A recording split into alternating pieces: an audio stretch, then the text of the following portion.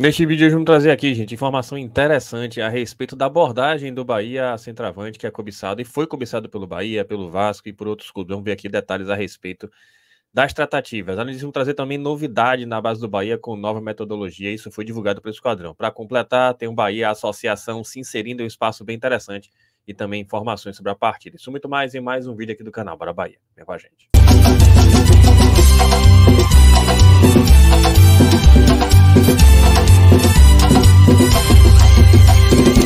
Fala nação tricolor, uma boa noite para vocês que seguem a gente aqui no canal Bara Bahia e hoje mais um Plantando Bara. Mas antes disso, duas coisas. Primeiro, muito obrigado a cada um de vocês pelas mensagens. Vou tentar responder ao máximo a vocês. Muito obrigado pelas felicitações e claro que Deus nos abençoe nesse novo ciclo com muita saúde e paz, não só para mim, mas para todos nós. Outra coisa que eu trago é para você aproveitar o cupom Lá na Centauro, cupom especial exclusivo Nike 20 para você garantir mais 20% de desconto em todos esses produtos da Nike na Centauro, gente. Tem chuteira, tem tênis, tem camiseta, tem mochila, tem short, tem boné, tem muita coisa legal. Clique aqui no link fixado no comentário também na edição do vídeo e aí você já acessa e garante logo essa oferta. Mas vamos aqui para o assunto de hoje e a gente começa trazendo aqui essa esse registro, né, esse acontecimento, uma pena tá aqui um torcedor símbolo do Bahia e aqui o Bahia trouxe. com imenso pesar, lamentamos o falecimento de Walter Catarino Costa dos Santos, um dos torcedores símbolo do esquadrão. O Bigode, como era conhecido, estava com 68 anos e lutava contra um câncer. Morador do bairro de Santa Cruz, em Salvador, era carpinteiro, tinha três filhos, ganhou destaque no filme Bahia Minha Vida e era figura carimbada atrás do banco de reserva na Fonte Nova. Tá aí, gente. Pena, né? E isso. E a gente tá aqui para registrar nossos sentimentos a todos os familiares e amigos desse grande tricolor que vai deixar saudade. Outra informação que eu trago para vocês é a respeito dessa situação nova lá no Bahia Associação. Vamos trazer inicialmente esse registro aqui, que o próprio Bahia fez no seu perfil. Bahia se filia ao Comitê Brasileiro de Clubes e à Confederação Nacional dos Clubes. Está aqui Emerson Ferretti na foto registrando, nosso presidente do Bahia. E vamos trazer aqui, inclusive, a explicação sobre o que se trata. E está aqui, gente, no site oficial bahia31.com.br. Bahia se filiar ao Comitê Brasileiro de Clubes e à Confederação Nacional dos Clubes. E, e aqui tá, gente. Nesta sexta-feira, 23 de fevereiro, o Esporte Clube Bahia se filiou ao Comitê Brasileiro de, Clubes, CBC, e à Confederação Nacional dos Clubes, FENACLUBES, entidades responsáveis, respectivamente, pelo desenvolvimento dos esportes e por representar perante os poderes públicos os direitos e interesses gerais dos clubes. A novidade foi oficializada com o almoço, que reuniu o presidente da diretoria executiva e do Conselho Deliberativo do Tricolor de Aço, Emerson Ferretti, e o Wendel Marques, e o diretor da FENA Clubes no Nordeste, Marcelo Sacramento. Dessa forma, começamos a inserir o Bahia no ambiente olímpico, um compromisso da campanha e um dos pilares de minha gestão conjunta com Paulo Tavares, afirmou Emerson. Tá aí, gente, bacana que isso abra portas e que o Bahia, a partir daí, comece a avançar no seu projeto envolvendo Bahia Associação e os esportes olímpicos. Por falar em projeto, vamos trazer aqui agora essa nova informação do Bahia, e bem interessante, muito importante. Tá aqui, gente. O Bahia postou hoje mais cedo. Novo gerente técnico metodológico foi apresentado no auditório da divisão de base tricolor. Encontro também reuniu lideranças do time profissional que auxiliarão a implementação do modelo. Vamos ver aqui, gente, esse vídeo que o Bahia fez. Importante na direção de, do trabalho que a gente imagina para tornar a base do Bahia uma potência nacional, que é a chegada do Guilherme Torres.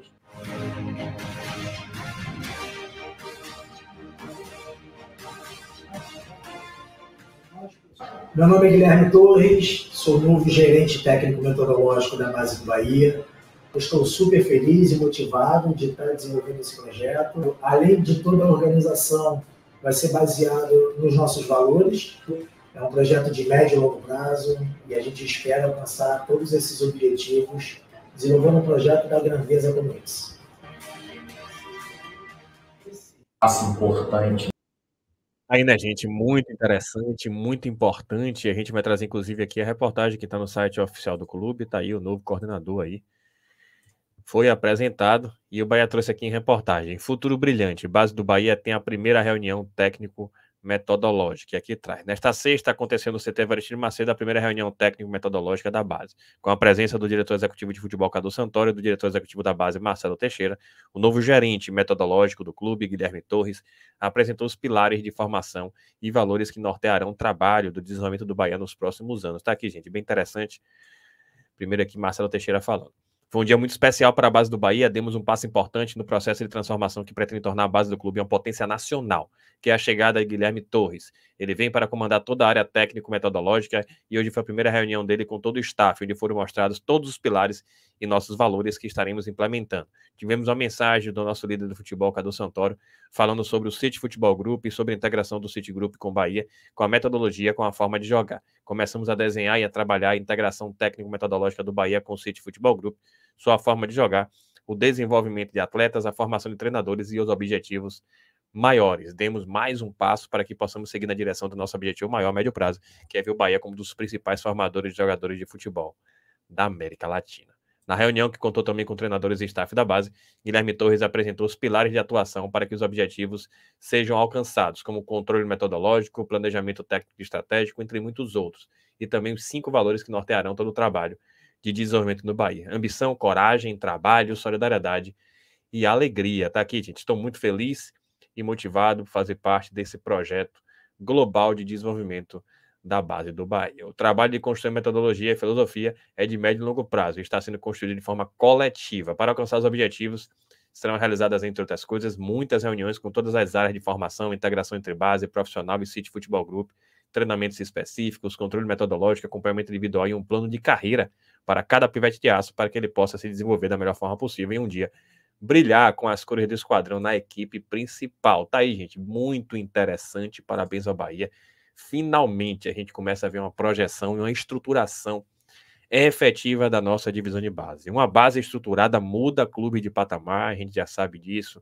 Flamengo começou a mudar economicamente a partir da base, Atlético Paranaense, Palmeiras, Fluminense, enfim, né? Chegou a hora do Bahia, é em médio prazo, é, mas tem que dar o primeiro passo, está sendo dado, que bom. É uma notícia realmente muito importante para o futuro, gente, do nosso tricolor de aço. Falar em tricolor de aço, já viajou Voo fretado, gente. Voo fretado e tá aí registro. Boa viagem esquadrão. Percebam quem tá viajando, Canu. Caio Alexandre, Gilberto também foi, Everaldo também foi, tá aqui Danilo Fernandes, enfim, Stupian também tá aqui, a gente vai aos pouquinhos, Everton Ribeiro também tá aqui, identificando quem vai e quem não vai. Vamos ver, provavelmente vai ter time misto, mas o importante é a Bahia garantir esses três pontos. Falar em Bahia, vamos trazer aqui, gente, esse trecho bem legal lá do nosso Baracast com Renatinho Edville. E ele traz elementos muito interessantes, destacando o que houve por parte do Bahia com relação à negociação e a abordagem para o atleta Luciano Rodrigues, qual foi a estratégia, interessante como ele revela a estratégia e qual foi, claro, o entrave. Vamos ver aqui esse trecho, tá aí.